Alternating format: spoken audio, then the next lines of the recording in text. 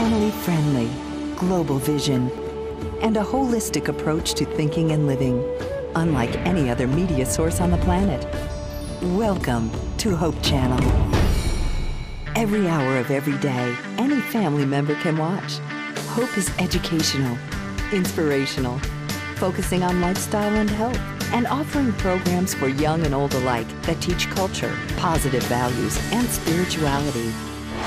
It takes a global network to be in touch with planet Earth's global community. Hope broadcasts everywhere in the world with seven global channels, and we're affiliated with more than 50 media production centers on six continents. The result?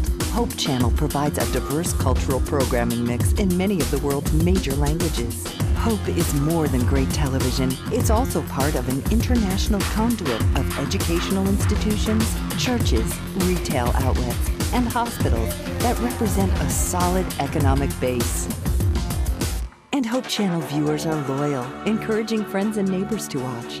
Why? Hope viewers believe that Hope Channel not only enhances living, but changes lives through its compelling lineup of programs. Documentaries taking your subscribers around the world and back through time, visiting places where history was made. Fascinating biographies that open up the lives and times of people who made a difference in society. Travel programs that transport the viewer around the world, demonstrating how people work together to make a better planet. Inspirational programming challenges viewers to experience the joy of discovering faith values and offering spirituality as an important part of a balanced lifestyle. Health and lifestyle programs teach disease prevention and make healthy living simple and attractive. Hope Channel programs provide invaluable support for developing healthy relationships and strong communities. Diverse and positive programming. A global infrastructure and network. A commitment to family friendly programming 24 hours a day, 7 days a week. This is Hope Channel, your source for quality of life programming.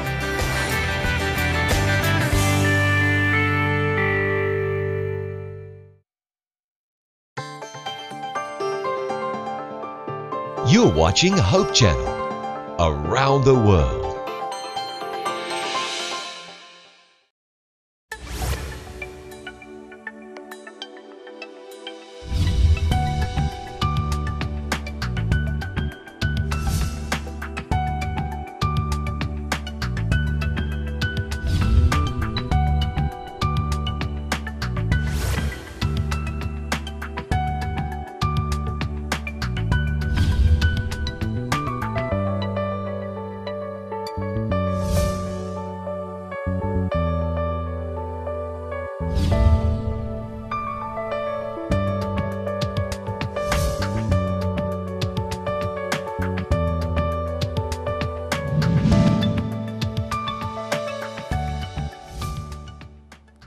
Isang mapagpalang araw sa inyong lahat mga nagigiliw naming mga tagapagsubaybay.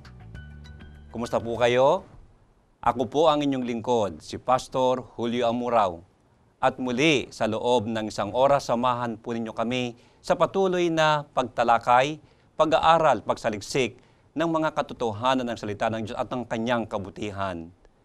Ngayon po ay muli nating makakasama sa ating programa, Let, There, Let God Be God, si Pastor Danny Conejos at siya po, gaya ng aking patuloy na sinasabi sa inyo, isang guro sa College of Theology sa Adventist University of the Philippines, isang systematic theologian, atin pong ibigay sa kanyang panahon upang siya'y bumati.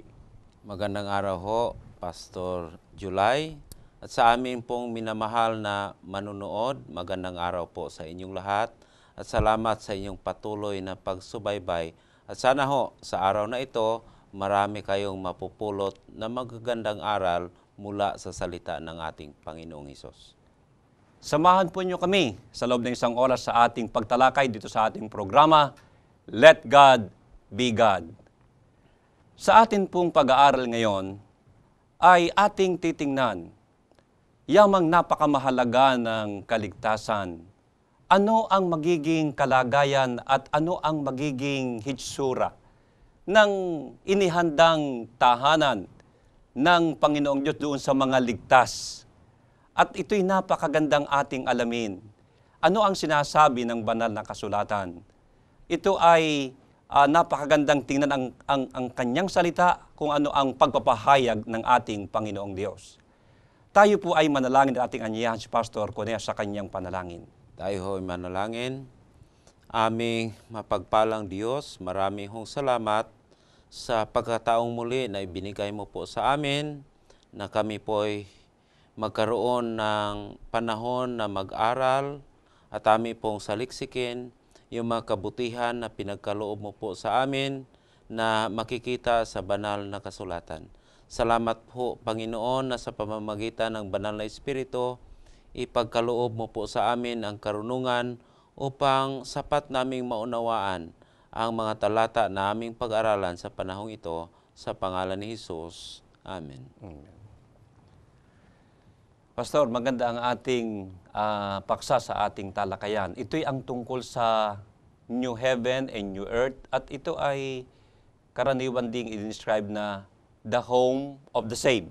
Okay. Or paradise restored. Paradise restored, ang bagong langit, bagong lupa, ang tahanan ng mga ligtas. Sabi mo, hindi mga, mga malilik, kundi ng ligtas na. Okay, paradise restored. Ang paraiso ay muling ibinalik. Talagang kailangan yon na mayroong tahanan yung mga ligtas, yung redeem. Kasi bago na sila na mga nilalang. Mhm.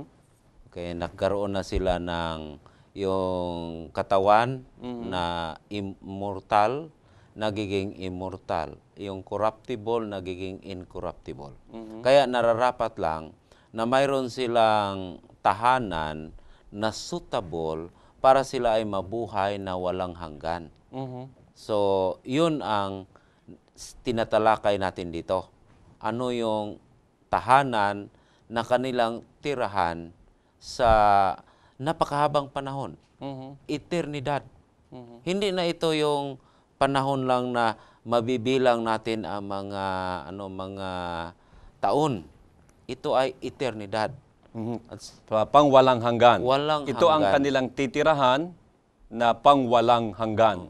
Ang iba doon, sinabi nila sa eternidad, ang eternidad daw ay walang hanggan kasi wala, hindi na binibilang ang taon. Mhm. Pero hindi yan ang eternidad na inilarawan sa banal na aklat. Mhm. Ang inilarawan sa Biblia, binibilang pa rin ang taon pero wala nang hangganan yung pagbilang. Mhm. Hindi na katulad ngayon na nagbibilang tayo, ah, nagbibilang tayo, tapos may hangganan ang pagbilang natin. Mhm. Although yung panahon siguro, hindi na natin maabutan kasi yung existence natin, yung lifespan natin, may hangganan. Mhm. Pero doon sa eternidad, yung Sa walang hanggan, sa walang hanggan, wala nang hangganan yung ating buhay. buhay. Mhm. Kaya yung environment doon, kailangan na. Mhm. Kasi kung hindi bago yung environment, ayon sa mga scientists na nagsusuri ngayon, tumatanda na yung mundo natin. Aha. Hindi ba? May mga narinig tayo na tumatanda na Uklo ito. na? Oo. kailangan na itong palitan o magkakaroon na siguro ng ano, ah, magkakaroon ito ng katapusan. Mhm. Kaya hindi talaga yon ang mundong ito na dito tayo titira. Bakit po ang karaniwang ipinapamagat sa paksang ito sa Biblia, bagong langit, bagong lupa? O kasi ang sinasabi diyan kung tingnan natin yung ah, ikalawang epistle ni o yung sinulat ni San Pedro. Okay, ikalawang sulat ni Pedro. Kapitulo 3, Okay? Versikulo 10, doon ang distraction. Mhm. Okay, day of the Lord. Okay. Pero sa 13, doon yung binanggit yung new heaven and the new earth. Okay, ito po ang inyong binabanggit. Basahin ko ng tuluyan dito sa ikalawang Pedro 3 Gs hanggang 13 ang sabi ganito. Datapwat darating ang araw ng Panginoon na gaya ng magnanakaw da ang sangkalangitan sa araw na iyan ay mapaparam na kasabay ng malaking ugong at ang mga bagay sa langit ay mapupugnaw sa matinding init at ang lupa at ang mga gawang nasa lupa ay pawang masusunog. Yamang ang lahat ng mga bagay na ito'y mapupugnaw ng ganito. Ano ngang anyo ng pagkatao ang narapat sa inyo sa banal na pamumuhay at pagkamawain? Na ating hinihintay ang pinakananasa, ang pagdating ng kaarawan ng Diyos na dahil dito'y ang sangkalangitan na nagniningas ay mapupugnaw at ang mga bagay sa langit ay matutunaw sa matinding init. Ngunit ayon sa kanyang pangako ay naghihintay tayo ng bagong langit at ng bagong lupa na tinatahanan ng katuwiran. So, ano yung description sa nature sa bagong langit sa kabagong lupa, tinatahanan niyo ng katuwiran. So, wala nang kasamaan doon. Yun ang ah, description. Na ngayon, ang tanong na lang, saan galing itong bagong langit at saka bagong lupa? Ibig bang sabihin na alisin itong ah, langit na nakikita natin ngayon sa lupa natin ngayon, tapos papalitan? Kasi bago eh. Bago. Kaya mas mabuti na tingnan natin yung salitang bago. Mm, bago. Kasi new eh. New heaven and new earth. Mhm. So, yung salitang bago dyan, ang ginamit na salita sa Griego ay kainos. Kainos. Dalawa kasi yung salitang ba si sinasalin na new or bago sa Tagalog, sa English, ang dalawang salita yon. Either kainos or neos. Ay, kainos or neos. Yung neos, bago. Bago din. In the sense na brand new. Okay. So, brand new siya kasi, ah, bago siya kasi brand new. Okay. Bagong That is neos. likha. Neos yon. Pero yung kainos, na yun ang makita natin sa Revelation, Mhm. at saka dito sa Peter, bra- ah, bago in the sense na it is renewed. Ah, binago. Binago. Parang ganun. Repaired. Ah, Kaya man okay. nandoon yung ah, preface na re. So parang katulad ito ng mga nagre-repair ngayon ng mga sakyan, tabi restored. o restored. Pero kaiba dito ang process na restoration kasi ayon sa Pedro, sinusunog. Aha. So the elements are melt by fire. Mhm. At saka doon sa Malakay, ah, aapakan natin yung yung ano yung alikabok sa mga nasusunog. Kasama yung mga wicked doon. Mhm. Kaya there is a purification. Itong fire, napakabisa pala yung purifier, yung fire. Panglinis. Panglinis. ang apoy. At saka pag, pag-alis sa mga element na hindi ka nais-nais. Mhm. Kaya yung gold, i-process nila yon yung gold. Pag i-process yon na palabasin yung ilang carats, doon yan sa ano? Firing yan doon sa fire. Mhm. Nakakita ako doon na pag firing, hindi basta-basta yung pag yung sobrang init ng apoy para lang maalis yung hindi dapat nakasama doon sa metal na gold. Mhm. So, after burning, kasi nung ah, ilang episode na pag-aralan natin na after the millennium, mayroong dagat-dagatang apoy na Yeah, susunugin yung mga Makasalanan. makasalanan. Kasama ng kanilang na general. yun, ang general, at saka kasama na yun ang earth doon. ay kasama ang earth. Kasama ang, ang earth mundo doon. ang, ang Maliban sa portion sa earth na doon nakalapak o nakalatag Naka- yung okay. New Jerusalem. Mhm. Kaya ito talaga ang New Earth. At ito ang earth na sinasabi sa Ebanghelyo ni San Mateo na yung mga uh, the, the meek will inherit The the earth. So parang Diba? nakikita ko pa, parang sinasabi mo na ang lupang ito ay dadalisayin. Oo, ganun. ang Dadalisay, mangyayari. lilinisin. Oo. Parang kumbaga yung lahat ng mga germs, lahat ng bakterya, lahat ng, sabihin natin ay lahat ng bakas ng kasalanan, Lilinisin. lilinisin. Kasi ang nangyari naman dito, itong earth na ito, sa panimula, maganda na earth ito. Okay, okay. Hindi ba? Balikan natin yung Genesis, ah, Kapitulo 1. one and two. 1 and 2. Maganda ito.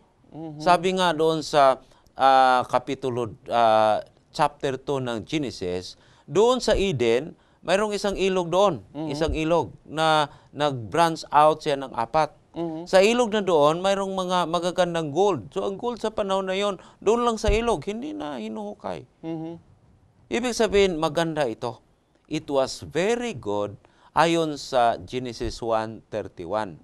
Nagkaroon lang ng bahid na nagkaroon ng pagbabago nang pumasok ang kasalanan. Nung pumasok sa ang kasalanan. 3. Ang tao din nagiging makasalanan. Nang i-purify ang tao, hindi naman ah, bagong tao ang ginawa. Binago lang kasi na-renew din. Mhm. Na-recreate ang tao. So, ganun din ang mangyayari sa earth.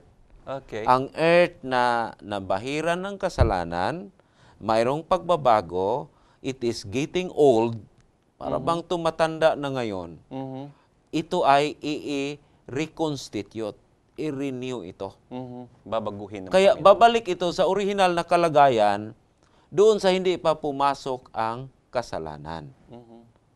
Ah, sa Revelation, at Revelation. talagang ano doon, i- nilarawan doon yung glorious state sa yung ano yung new earth at saka new heaven at saka yung magiging capital niya pastor nitong earth na i-reconstitute. Yung capital ng earth dati na tinirahan ni Adan, yung Eden. Aha. Pero sa new heaven and the new earth ay ang magiging sentro, ang capital, din as kung saan andoon yung trono, luklukan ng ating Panginoon ay yung ba- ah, banal na bayan, yung tinatawag na New Jerusalem. Mhm. Babasahin ko po, Pastor, Oo. ang inyong binabanggit dito sa aklat ng Apokalipsis, aklat ng pahayag, ito po ay pangalawa sa huli na kapitulo sa banal na kasulatan. Ang sabi ay ganito, At nakita ko ang isang bagong langit at ang isang bagong lupa, sapagkat ang unang langit at ang unang lupa ay naparam, at ang dagat ay wala na. At nakita ko ang bayang banal, ang bagong Jerusalem, na nananaog mula sa langit buhat sa Diyos, na nahandang gaya ng isang babaeng kasintahang nagagayakang talaga sa kanyang asawa. Dalawa ang binabanggit yan. Yung new heaven and the new earth kasi yung lumang earth at saka lumang kalangitan, wala na. Wala na. At saka yung syudad na sinasabi ko nga, yung magiging kapital. Kaya hindi yan equivalent na yung syudad, yun na ang new heaven and the new earth. Aha. Bahagi yon Bahagi. ng new heaven and the new earth. Kagaya ng Eden na bahagi din sa yung paradise na ano.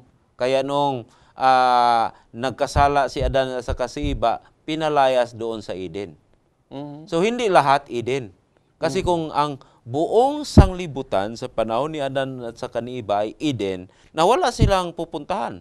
Wala silang lalabasan. Walang lalabasan. Oo. Okay. So ganun 'yon. Okay, ang sabi sa patuloy sa ah, versikulo 3, At narinig ko ang isang malakas na tinig na mula sa luklukan na nagsasabi, Narito, ang tabernakulo ng Diyos ay nasa mga tao, at siya'y mananahan sa kanila, sila'y magiging mga bayan niya, at Diyos din, at ang Diyos din ay sa sa kanila, at magiging Diyos nila. Yung salita kasing tabernakulo, yung sinabi ng Panginoon na gagawa kayo ng sanctuaryo. Let them make me a sanctuary Oh, that is that I may Testament. dwell among them. Yung salita na I will tabernacle, ibig sabihin I will dwell. I will dwell. Kaya kinwalify doon na ang tabernakulo ng Panginoon ay nasa mga tao. Hindi ba yun ang sinasabi? aha, aha. Ibig sabihin, God will be dwelling in us.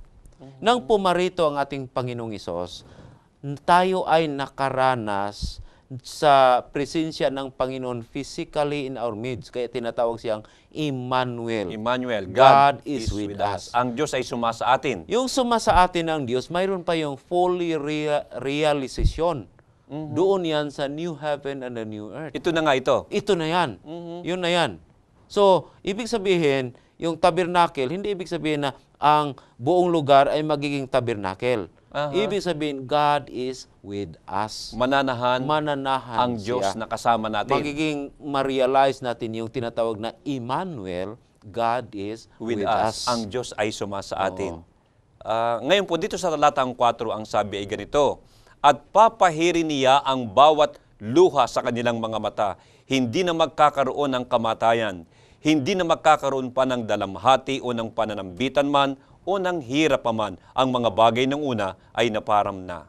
Kasi yung suffering, yung pighati, ah, naranasan niya ng tao ng ah, pumasok yung kasalanan. Pinag-aralan natin yung nakaraan na nang pumasok yung kasalanan, immediate na consequence. Sabi ng Panginoon, iba, ikaw ay manganganak sa ano? May ano Paghihirap. na, paghihirap na. At ikaw, Adan, ikaw ay kakain, hindi na kakain sa ordinaryo ng kakain ka. Mhm. Kundi, kailangan Magpapagal, ka ng magpapawis. magpapapawis ka na. Dahil before, sa hindi pa pumasok ang kasalanan, ay provided lahat. Sabi ng Panginoon doon sa Genesis Kapitulo 1, lahat ng mga bungang kahoy binigay. Hindi na kailangang magtanim para mabuhay. Na mayroong mga pananim doon, inaalagaan ng tao, kaya ang trabaho ng tao before pumasok ang kasalanan, hindi para mag-survive Mhm. kundi to take care or to dress the garden. Alagaan. Alagaan. Ang kanilang pagkain, dyan na. Mhm. Yun na, lahat na yon, provided yon. Hindi kagaya natin ngayon na we are laboring to survive. Talagang hanap buhay. Hanap buhay. Lagi nang naghahanap ng mailagay dito. Oo. Doon, wala nang hanap buhay. Kasi binubuhay ka sa environment na doon naruroon ka. Tapos, ang atin lang kailangan to take care of that earth. Mhm. New heaven and a new earth. So actually, ang new heaven and a new earth is the restoration sa yung unang ginawa ng Panginoon na heaven at saka earth. Wala nang dagat. Sinasabi nila metaphorical yung walang dagat kasi ang dagat daw nagsasabi na mayroong pagkakahiwalay. Kasi dahil sa dagat, ang isla na ito ay malayo sa isla na ito, hindi ba? Halimbawa, kung tayo ay na, napaloob sa isang archipelago, Mhm. pero talagang ang composition sa earth before sa pumasok ang kasalanan For the fall. or ang at saka or before the flood Okay, before the flood. kasi na nabago lang itong, itong topography Aha. itong itsura ng ating mundo during the flood Dahilan sa baha. dahilan sa baha before the flood yung Noah's flood Mhm. na tinatawag nating universal, posible na ang topografiya hindi kagaya ngayon. Wala pang mataas na mga bundok, hindi pa malawak yung karagatan. Mhm. Lumawak itong karagatan kasi saan napunta yung tubig na Mhm. ah, umapaw. Hindi naman yun lahat nagiging yelo doon sa North Pole. Mhm. Kaya sa panahon, tulad ng sinabi sa, ni Adan ah, sa Genesis Kapitulo 2, ang watering doon sa gardens, suba lang. So kung mayroon mang body of water, hindi siguro kagaya kalaki Sa, ating kalagayan ngayon. kalagayan natin ngayon. Kasi makita natin yun sa Genesis Kapitulo 1 na siniparate yung ikalawang araw. Siniparate ng Panginoon kasi gumawa siya ng anyo na tinatawag na espasyo Okay. siniparate niya yung tubig dito sa baba mula sa tubig sa itaas. Mhm. So sa panahon na yon, mayroong tubig dito sa baba, mayroon ding tubig sa itaas. Wala pang ulan sa panahon na yon. Dahil walang ulan, wala din silang season. Tayo sa Pilipinas, mayroon tayong dry season at saka rainy season. Sa panahon na yon, ang temperatura parihas. Kaya makasurvive si Adan at saka- si iba na walang damit. Mhm. Hindi ka papawisan sa panahon na yon. At yun din ang dahilan kung bakit napakahaba yung lifespan nila. Mhm. Dahil sa napakaganda. Yun ang environment na ibalik, suitable sa tao na nagkaroon na ng ah, ah, immortalidad. Mhm. Pero yung immortalidad natin, mapag-usapan natin yan sa, sa iba pang mga episode na hindi din kagaya sa immortalidad ng Panginoon na natural. Ang ating immortalidad manatili na conditional. Nasusundan ko po yung inyong ah, paliwanag, Pastor, na ah, yun ang talagang orihinal na kalagayan bago pa nagkaroon ng tinatawag na kasalanan. Pero dahilan sa pagpasok ng kasalanan, pumasok na rin nga ang iba't ibang problema, pumasok na ang iba't ibang sakit, Mm. Ah, dumating na ang iba't ibang mga mapapait na karanasan ng tao. At dito sa 4, ang sabi, papahirin niya ang bawat luha sa kanilang mga mata, hindi na magkakaroon ng kamatayan. Lagi na lang ngayong tinatawag na kamatayan, At ang Wala sabi na. dito, hindi na magkakaroon ng dalamhati ng pananambitan ng hirap ang mga bagay ng unay na param na. Naparam na. Kasi ang kamatayan, ayon sa doon sa karanasan ni Adan at sa kaniiba, sinabi lang Panginoon, sa araw na kakain kayo, Mhm. mamamatay kayo. Na ma-restore na yon. Ma-reverse na yon. Kaya wala nang kamatayan. Wala nang Kaya kamatayan. yung pagpahid sa luha, hindi yan literal na mayroong malaking tuwalya na Papahid. isa-isang pupunasan doon. Kundi papahiran kasi hindi na tayo luluha pa muli kasi wala na yung mga dahilan na tayo ay mag, ah, makaranas ng pighatian. Mhm. Ang sabi sa patuloy, Pastor, at yaong nakaluklok sa luklukan ay nagsabi, Narito, ginagawa kong bago ang lahat ng mga bagay. At sinabi niya, isulat mo sapagkat ang mga salitang ito ay tapat at tunay. So, para bang may silyo Mhm. na ah, sigurado ito. Sigurado ito. Hindi ito katang-isip lang. Mhm. Ibinigay ang katiyakan. o katiyakan. Hindi ito tulad ng inaasam sa mga tao ngayon na mayroon silang ah, wish na magkaroon tayo ng utopia. Mhm. Na mag-improve ang sosyedad hanggang ang lahat ng tao ay magiging kind, loving, at saka wala ng pulubi, wala ng hindi makakain ng tatlong bisis sa isang araw. Ah, hindi yon ang klaseng utopia. Talagang ma-altered itong present natin nga na kondisyon. Hindi lang i hindi lang ito i-improve, talagang mawawala itong presente na kondisyon kasi babalik doon sa una. Mhm. At yun ay hindi parang isang pangarap lamang ha. Yun ay talagang totoo. Ang sabi sa patuloy, 21, ah, kapitulo, sa, ah, kapitulo 21, versikulo 6. At sinabi niya sa akin, nagawa na, ako ang Alpha at ang Omega, ang pasimula at ang wakas. Ang nauuhaw ay aking paiinuming walang bayad sa bukal ng tubig ng buhay. So, doon yung ano, yung water of life proceeding from the throne of God. Doon yan sa bagong Jerusalem. Kaya abundant supply. So ang mit ang salita na yon metaphorically nagsasabi about abundance. About- abundansya. Okay, talagang sagana. Sagana. Wala nang nangangailangan na nakukulangan. Okay, verse 7. Ang magtagumpay ay magmamana ng mga bagay na ito, at ako'y magiging Diyos niya at siya'y magiging anak ko. Yun ang tinatawag natin na sinasabi na realidad. Sabi ng Panginoon, ito ang hinahanda. Pero ang makatikim sa restored paradise na ito, yun lang may pananampalataya sa akin. Yun lang tumatanggap. Verse 8. Ngunit sa mga duwag at sa mga hindi mananampalataya, sa mga kasuklang-suklam, sa mga mamamatay tao, sa mga mapakiapid, sa mga manggagaway, at sa mga mapagsamba sa Diyos-Diyusan, at sa lahat ng mga sinungaling, ang kanilang bahagi ay sa dagat-dagatang nagnininga sa apoy at asupre na siyang ikalawang kamatayan. Kaya consistency talaga, consistent talaga yung tema sa Revelation. Dalawang puwersa nagkakatunggali, ang kordero at saka yung dragon. Ang kordero may mga tagasunod, ang dragon may mga tagasunod. Ang puntahan, ang hantungan sa mga sumusunod ng kordero, yung bagong langit at bagong lupa. Ang hantungan sa sumusunod sa dragon, yung dagat-dagatang apoy. Pastor, ngayon po ay Year of the Water Dragon. Baka maligaw yung ating mga taga-subaybay.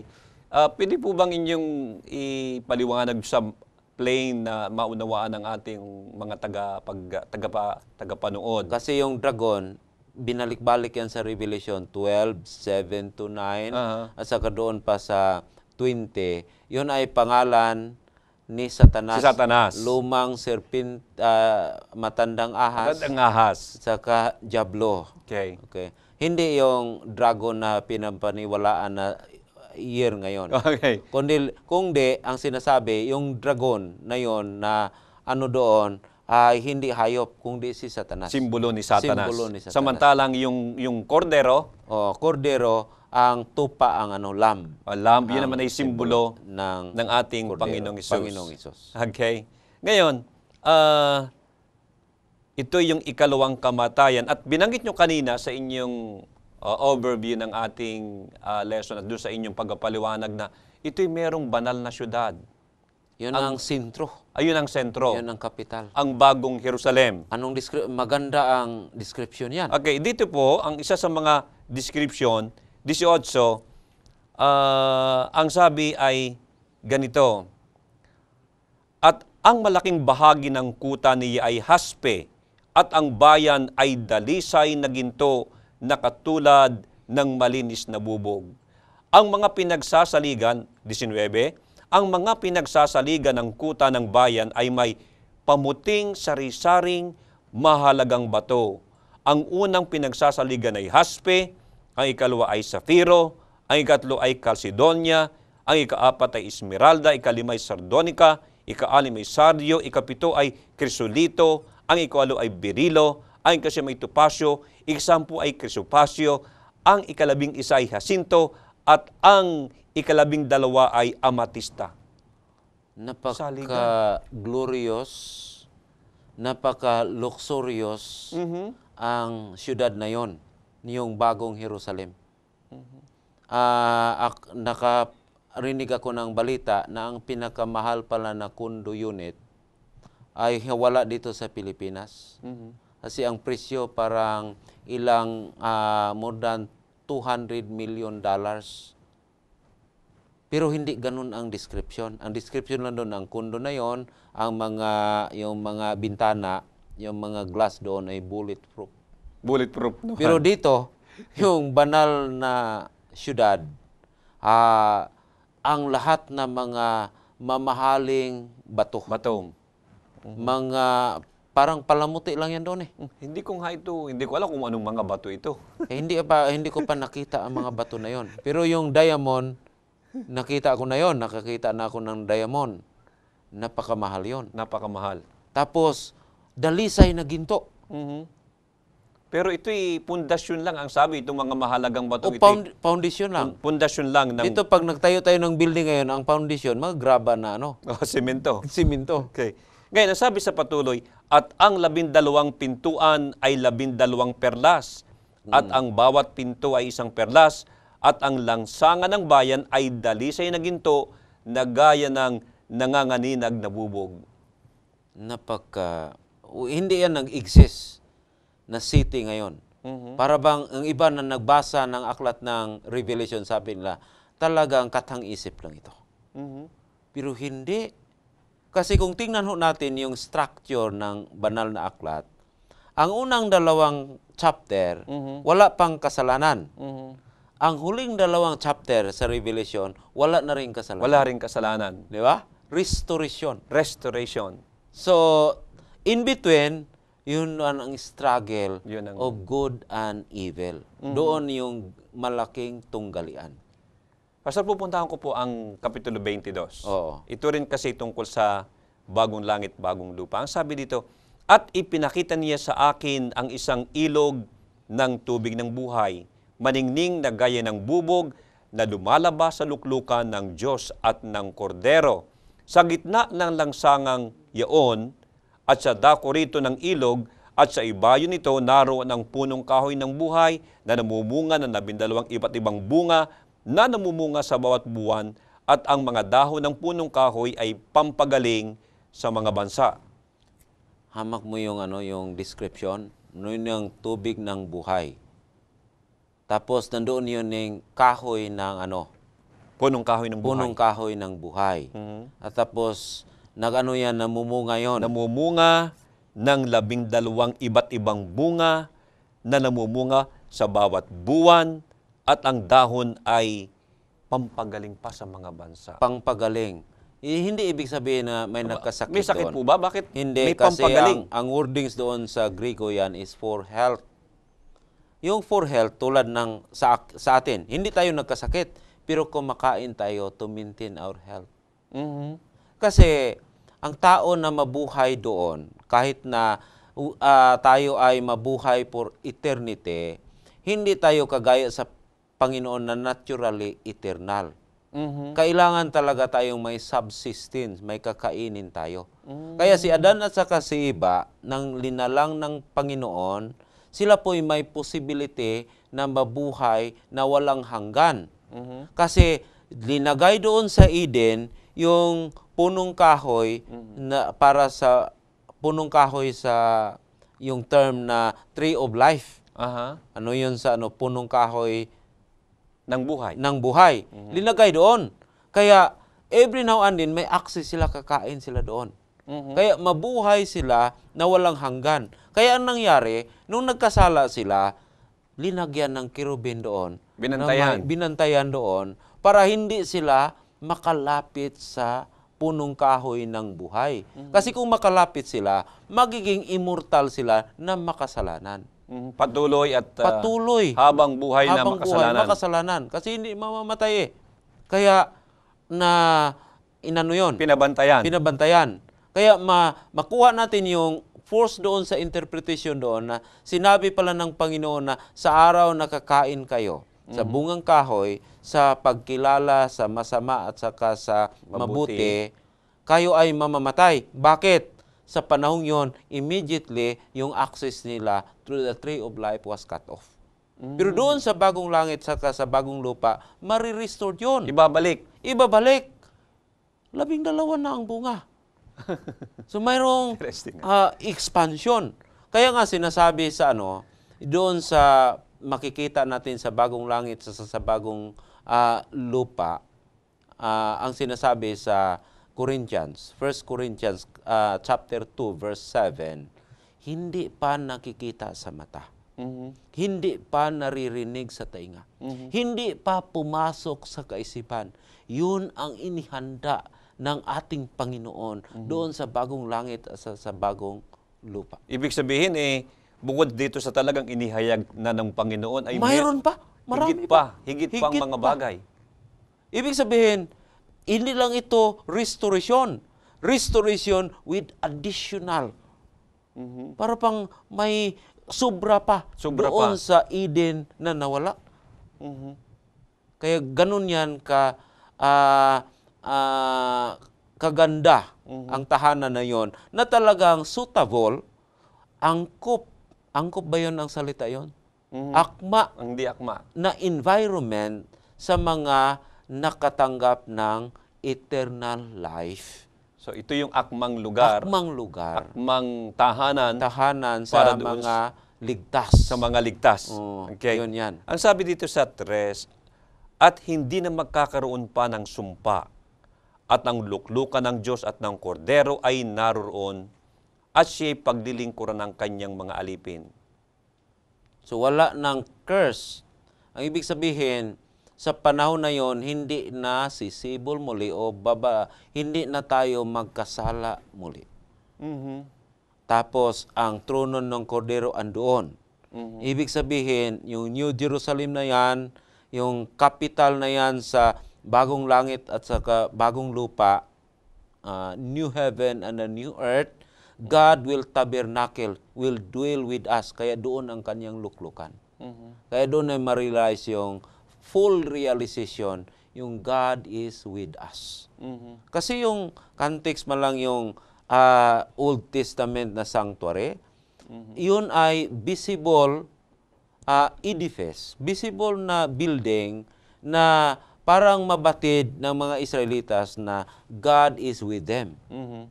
Okay?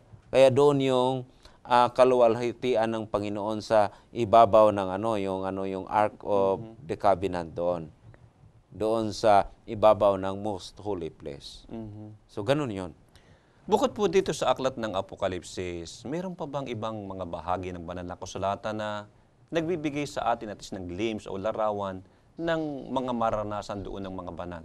Sa aklat ng Apokalipsis, ang description, glorious ang siyudad na ito. Mhm. Hindi nga na nga kailangan ang liwanag eh. Kasi andoon ang Panginoon. Mhm.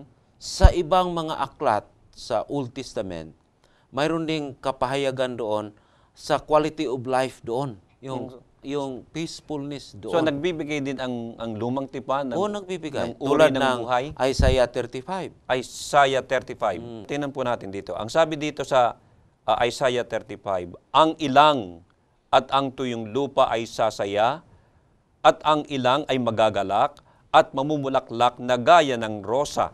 So, wala nang barren na soil doon. Hindi na kailangan ang urga. Walang disyerto. Wala nang disyerto. Okay, ang sabi sa patuloy, mamumulaklak ng sagana Mm. at magagalak ng kagalakan at awitan. So wala nang talagang kagalakan. Wala nang suffering. Ano pa? At ang sabi dito, ah, kung magkagayon, kung magkagayoy, madidilat ang mga mata ng bulag at ang mga pakinig ng bingi ay mabubuksan. Kung magkagayoy lulukso ang pilay na parang usa at ang dila ng pipi ay aawit sapagkat sa ilang ay bubukal ang tubig at magkakailog sa ilang. So wala nang may kapansanan doon. Mhm. Wala nang scarcity sa tubig doon. Mhm. Na Ayon sa pagsusur pag-aaral ngayon, paubos na yung water, yung potable water natin, yung ano. Ang sabi dito, at makakaroon doon ng isang lansangan at ng isang daan at tatawagin ang daan ng kabanalan. Ang marumi hindi daraan doon kundi magiging sa kanyang bayan. Ang mga ah, ang mga palalakad na tao oo magiging mga mangmang ay hindi mga liligaw roon. Kaya talagang ah, akma yon sa description na yung bayan na yon, yung new heaven and the new earth, that is the home of the redeemed. Mhm. Sabi Where sa patuloy, righteousness dwells. hindi magkakaroon ng leyon doon o sasampaman doon ang anumang mabangis na hayop, hindi masumpungan doon, kundi ang mga nangatubos ay lalaka doon. Wala nang mababangis na hayop. Alam mo doon sa ano sa Genesis kapitulo 1, sinabi doon na nang nilikha ng Diyos ang tao, binigyan siya ng kapangyarihan na magkaroon ng dominion over the, ani- the animal kingdom. Lahat, kaya lahat ng mga hayop doon, si Adan ang nagbigay ng pangalan. Di ba? Doon sa Genesis. Kaya may kapangyarihan. Pero nung nagkasala, si Adan at saka si Iba, mayroon ng ah, strained relationship. Ang mga kayupan hindi na makontrol ng tao. Ngayon, hirap nang kontrolin ang leon. Di ba? Kasi nagkaroon, babalik yan doon sa harmonia. Mayroong total na harmony sa lahat inanimate at saka animate object doon sa new heaven and the new earth. Wala nang ano. Wala nang Walang panganib. wala nang panganib. Siguro ang ahas doon hindi na tumutuklaw na ano. ahas pa rin, gumagapang pa rin. Pero ang mga mababangis, mga, Mga ba, mapama- hindi na mababangis. hindi magiging panganib. Hindi na magiging panganib. Mhm. Doon nga sa ah, isang aklat ng ah, isang kapitulo ng Isaiah, ah, l- gawing laruan ng bata yung mga mababangis na hayop. Mhm. So wala na talagang panganib. Walang panganib. Walang panganib. Nandun ang perfect peace. Oo. Hindi yan mangyari sa ating kapanahonan ngayon. Kaya talagang mababago ito. Mhm. Kaya talagang akma na akma na lugar na yon sa mga ligtas. Kaya yung sa Revelation 21 at saka 22, yun ang paglalarawan. Kung ano ang ano ang nature, quality of life at saka ano ang ang ah, kaluwalhatian sa lugar na yon. Na, Pastor, nais ko pong dakuhan naman yung talata sa bagong tipan, yung nandoon sa aklat ng Mateo, mapapalad, yung may, may, may kailangan sa mal, Yung Ma- mapapalad, Matthew chapter 5. chapter 5, verse 5. Mm. Mapapalad ang mga maamo, mamanahin nila ang lupa. Mm, maamo. Kaya doon sa Revelation, hindi ba binanggit mo kanina na yung mga walang pananampalataya, Mhm. yung mga ah, nabubuhay sa kasinungalingan, Mhm. yung mga duwag, hindi makapana kasi hindi sila makapasok eh. Pero yung mga maaamo, makapasok doon. So, yung, yung, yung, yung, yung mga katangian ng mga tao, merong Katangian. kaamuan. At ang lupa ngayon ay yung lupang binago. Binago. Hindi, hindi itong lupa ngayon. Mhm. Kaya kasi yung Beatitudes, tinatawag yung Beatitudes, yung Matthew chapter 5. Mhm. Ano yun eh? Ibanghilyo yan eh. Kung ano yung katangian, yung mga tao na may relasyon sa ating Panginoon. Anong klaseng mga tao yon? Yun yung mga tao na poor in spirit. Ibig sabihin, na-recognize nila ang kanilang pangangailangan na tayo ay makasalanan. Dahil na-recognize na tayo ay makasalanan, sa susunod na bersikulo sabi, sila po ay nagmo-mourn. Mhm. Yung mourn doon, ibig sabihin, sorrow of their sin. Mhm. They become humble. Na-recognize yung pangangailangan nila, kaya nagmo-mourn sila. Mhm. Yung na-recognize mo yung tunay mo na kalagayan, ikaw ay maamo. Mhm. Kaya pagdating doon, sa sunod pa na talata, sinabi doon na God will uh, satisfy their thirst. Mhm. And God will renew their uh, renew them. Mhm. Kaya ganun yun yung Beatitudes. Kaya akma-akma yun ng mga tao na magmana sa bagong langit at saka sa bagong lupa. Bago din yung katauhan. Mhm. Hindi yung kaya yung mga ano yung mga walang pananampalataya, walang kaugnayan, walang puwang doon. Mhm. So, talagang ah, hindi lamang maganda yung lugar, kundi ibig sabihin nito talagang maganda ang pag-uugali Yung ng mga taong titira talaga doon. Oo. Kasi kahit na ano kaganda ang lugar, kung patirahan mo yan sa hindi karapat dapat doon, walang mangyayari sa lugar. Walang mangyayari. Kaya kailangan talaga yung ano, harmonia. Harmony. Meron ka pa. Harmonia. Eh, meron nga tayo nababanggit ngayon, eh, pagka ikinandun, bababa ako, o di kaya aalis ako. Mm. Pwede kaya yung ganon? hindi na kasi wala namang makapunta doon na hindi karapat dapat doon. Mhm. Mhm. Tapos, ang lahat na makapunta doon, magkaroon talaga ng harmonia at saka reconciliation. Pero pagka merong kinalaman dito sa tinatawag na bagong langit, bagong lupa, sa inyong pag-aaral sa theology, meron bang mga ah, mga issue tungkol sa bagay na ito kung meron man? Ah, mayroong ano, mayroong mga ah rini-raise na issue. Pero kung babalik tayo sa biblical na papahayag, Aha. actually hin walang issue doon kung tatanggapin natin, kung hayaan natin na ang Panginoon ay magiging Panginoon. Mhm.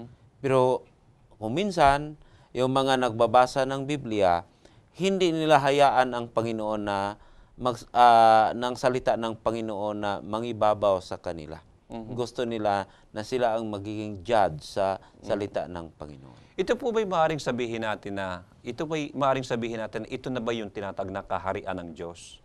O yun ang ano yun, yung tinatawag natin na fulfillment. Kasi yung kaharian ng Diyos, ang primary meaning yung kaharian ng Diyos is the reign of God. Paghahari ng Diyos. Paghahari ng Diyos.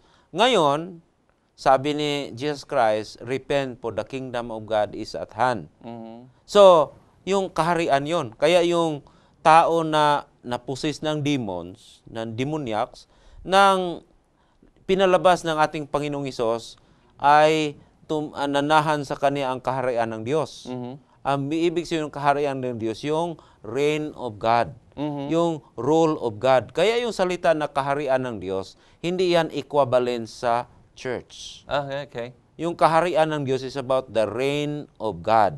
Mhm. Ang nangyari lang dito, sa new heaven and the new earth, yung reign of God is totality.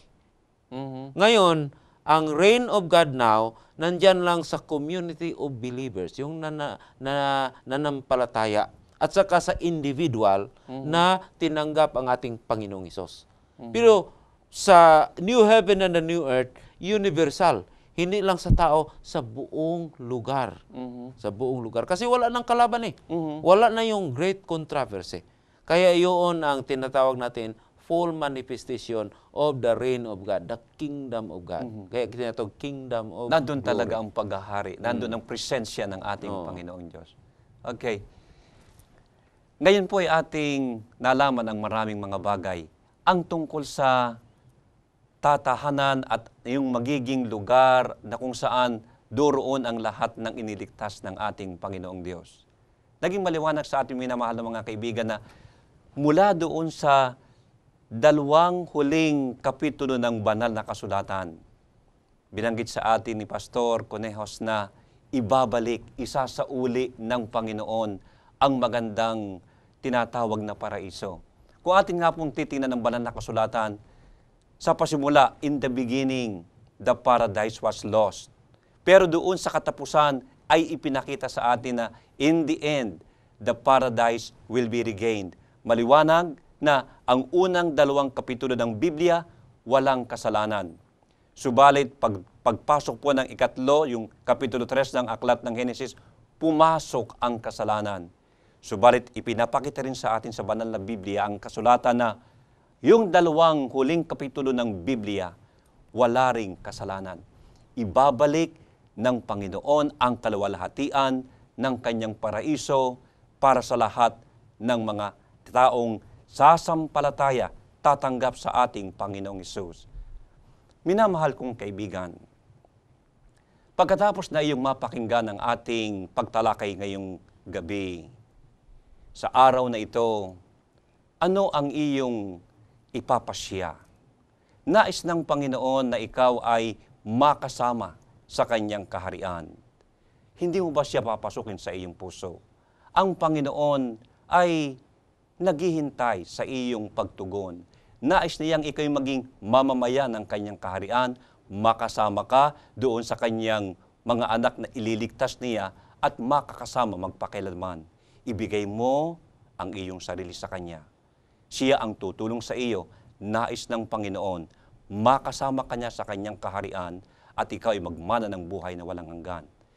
Tayo manalangin, pangunahan tayo ng Pastor Conejos. Amin pong mahabagin na Ama, maraming salamat ho sa mga bagay na aming natutunan.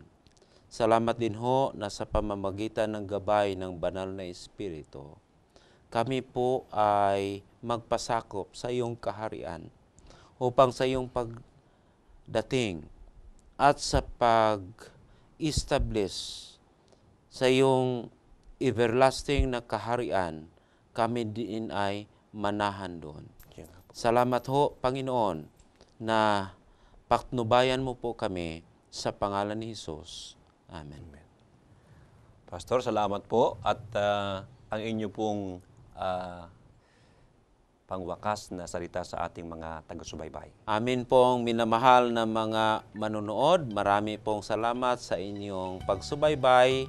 At sana po hanggang sa susunod, patuloy po, kam, po kayong ah, maki, ah, makisama sa amin sa palatuntunan ito.